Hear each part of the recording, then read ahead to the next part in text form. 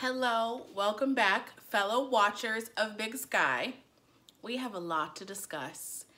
And I had a professor who once said, always begin with the end in mind. And let's just talk about the very ending. Let's just start. So spoiler alert, we're getting straight into it, okay? My, I have a couple, and I have a couple of questions that I need y'all to answer. I need your input on. Okay, I am no engineer, but I'm pretty sure, I'm like 85, 95% sure you can't just drive a truck through two walls of a building. Like you can't just drive a truck through a building. You can't do that. The building's not made out of cardboard. You know, like of maybe you have the vehicle has enough integrity to make it through the first wall, the windows, the four by fours, whatever is in the interior of the wall, giving the building structure. Maybe you could make it through the first wall, but you would have to have such a momentum to make it through the wall, the furniture, and the next wall. And the fact that the, the truck just kept driving, no, you like that just doesn't track to me. Let me know what you think. I need to know. Like, I, you know, I'm not, you know, the momentum you would need. And again, not an engineer, not a physicist, but come on, sis, that doesn't make any sense. That doesn't make any sense. Be honest. and then, oh, and then I said, what about the person inside of the truck? We cannot smash through an accident like that and just keep driving along like doo doo doo doo. He, it's not like when I am turning a corner and I hit a curb, which which occurs more than I like to. But it's not like hitting a curb. You can't just keep driving and go ooh, you know, like. you can't just keep going. Wouldn't I get whiplash? Wouldn't you get whiplash? Wouldn't you get a concussion? That person would have been crashed. Let's say that they went on this mission. They would have crashed to the other side and they would have had to have just like crashed and stopped and passed out. There's no way that they're just like doo doo doo doo and kept driving. No way. No way, dude. I can't even. But let's let's let's move on. Let's talk about who do we think is driving? Now, it seems almost obvious like who's driving. I think that obviously the most obvious answer would be John Wayne made his crazy brother Rand get behind the wheel and do a suicide truck mission. That and Rand is crazy enough to do it. That's something I believe would happen. Um, but they kind of make you confused a little, and this is why this this show is so hit or miss. I don't know if they did this on purpose to be vague, but is it supposed to look like, is that Ronald driving through? I'm pretty sure it's not Ronald. And also, how would Ronald know where they were staying? I, so it's not Ron. I don't think it's Ronald. I think it's probably one of the, it has to be one of the brothers or somebody working for the sheriff or somebody. We already know who sent them. We already know who sent them and why they were there. Whether or not it's the specific person we think it is. Anyway, um, and then the next thing is talking about the ending. Who do we think is in that freezer? Who is in the freezer and who do you think put him there? And I'm going to I'm going to get to my answer to that particular question when we get down to the answer of Ronald and his mess. Let's start though with Rosie. The Rosie is the girl who Blake attacked, allegedly, who he was charged with attacking, and her dad. They did the whole scared, small town, we can't tell all the small town secrets or we'll get in trouble with the big villains of the small town. They did that whole song and dance, tap dance of like, oh, it, we're in a small town and there's an evil person and we can't say anything. You don't know how things work around here. You know, like, goodbye. Goodbye! I'm just, I'm done. I'm like, okay, whatever oh, whatever, Rosie and her dad. They they they didn't bring very much to the episode. Um, no shade, but they did it. Uh, and then the Kleinsassers. Let me start calling them by their name. The Klein, call me by your name. Okay, sorry. The Kleinsassers, and apparently their ranch is the Iron Cross Ranch. Interesting. So Blake fell. Cheyenne really threw her brother's body off the side of a cliff. First of all, I'm not fully convinced that he was dead last episode, especially when I, they played it again at the beginning of this episode. He mostly got hit in the face. He probably could have survived that because he just, he hit him, he popped him over the head. I understand he could have been dead, but a part of me feels like he could have been knocked out. Now that would be an interesting twist. I don't have faith that this show would bring that back up to make it like an interesting twist that you see a flashback and Cheyenne is looking at him and he's starting to wake up. I don't believe that they would bring back something like that, but we'll see if they do. Um, so he falls off a cliff. Everybody's grieving. The mom, this is why I say the show is kind of funny. The mom was funny. She was just slapping everybody. She's like, no, no, he didn't commit suicide. She had to get her licks in. She's like, I can only pull the grieving, um, crazy widow. crazy, not widow. I can only play the grieving crazy mom for a couple of minutes. And I'm going to get my licks in. She slapped everybody. Don't say suicide. He wouldn't do that. Anyway, let's move on to Cheyenne. Now, let me take credit where credit is due. Give me my credit.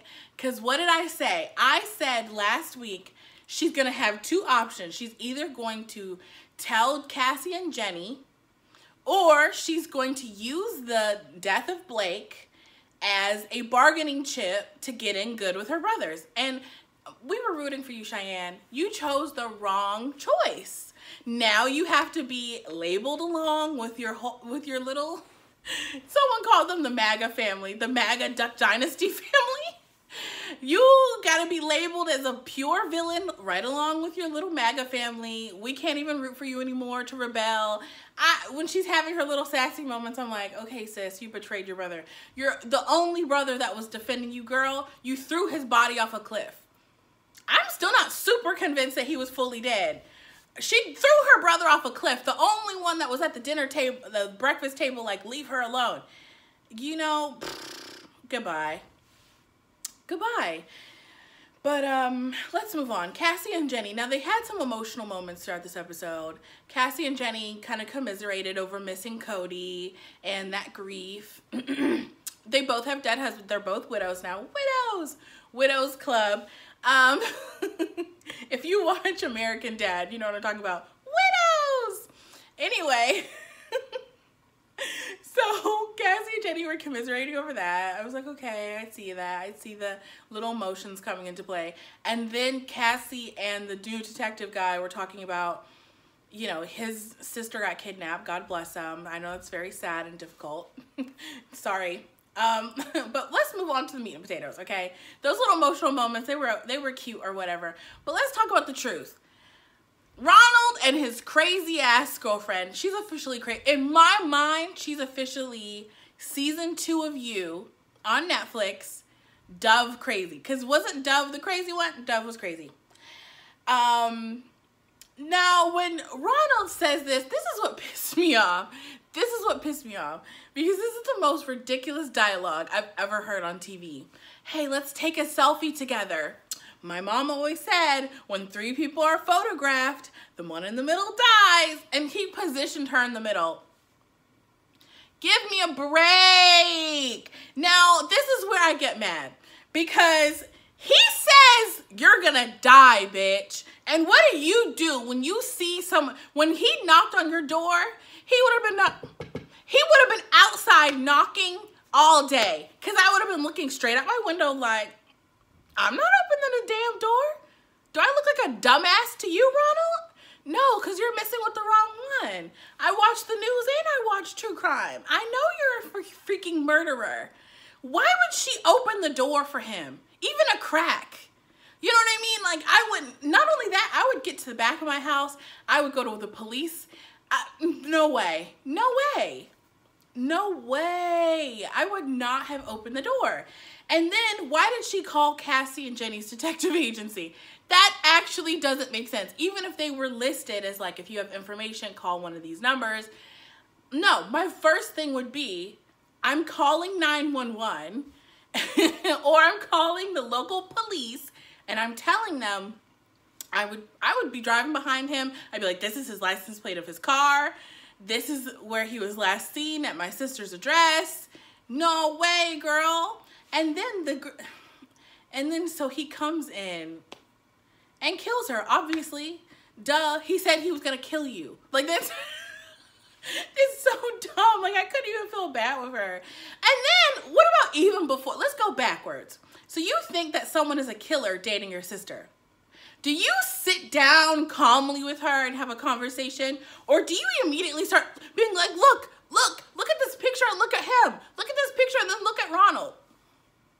No, you you you you you would be blurting it out. You would be showing evidence. You wouldn't be sitting calmly like, I just think some he's something is off or texting. I don't think he's who he says he is. like, why would you text that? Why would you text it? And and honestly, if my sister was acting like that, and see, this is what everybody's built different. I wouldn't even say shit to her. I would call the freaking police.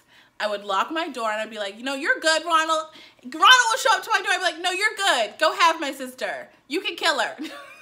just kidding. I'm just kidding. I wouldn't. I would be trying to save her. I.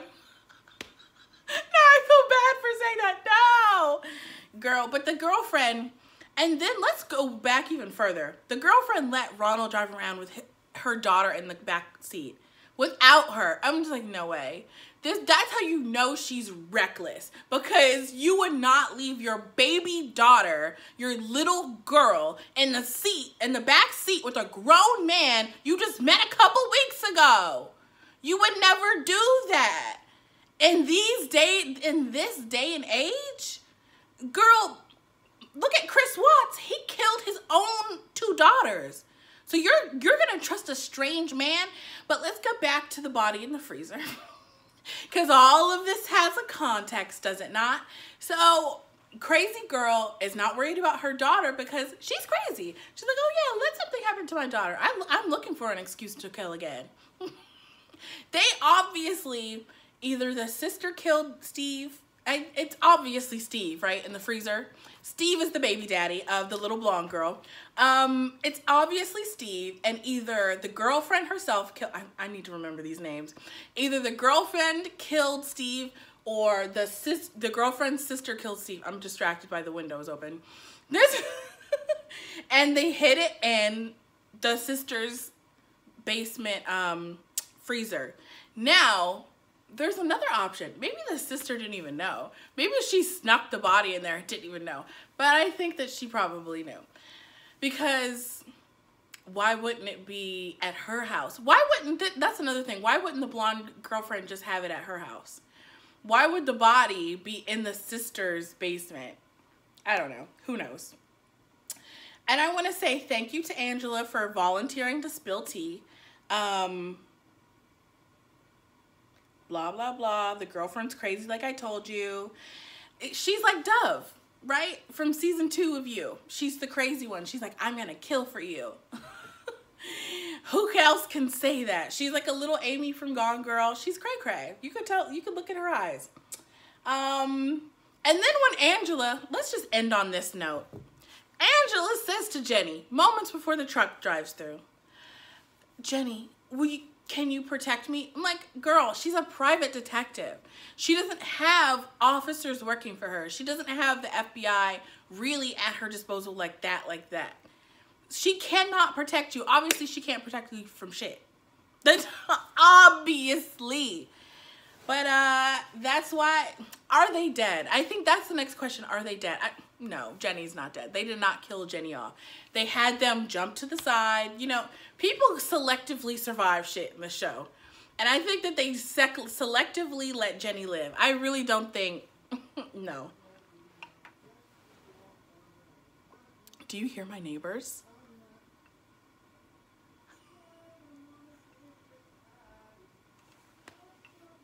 Do you hear my neighbor? I hope y'all picked that up. He's not that loud.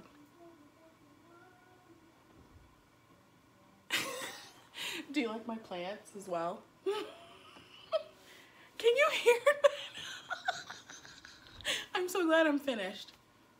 Oh, he went inside. and these are my plants. They're called purple shamrocks. I love them. Um, anyway,